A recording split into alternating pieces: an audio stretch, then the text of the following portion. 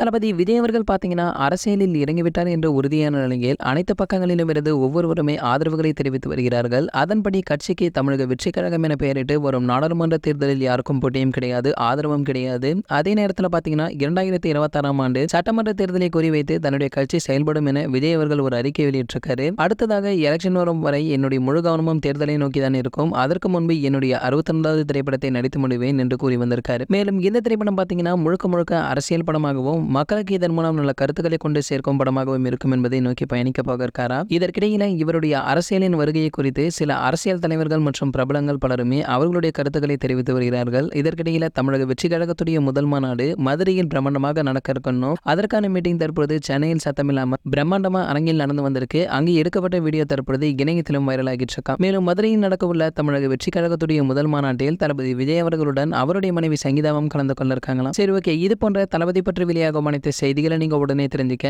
நம்மளுடைய தளபதி த்ரீ சிக்ஸ்டின்னு நம்ம சேனலை சப்ஸ்கிரைப் பண்ணிக்கங்க. பக்கத்தில் உள்ள பெல் ஐக்கானை கிளிக் பண்ணிட்டீங்கன்னா நீங்கள் நம்ம வீடியோவை மிஸ் பண்ணாமல் பார்க்கலாம்.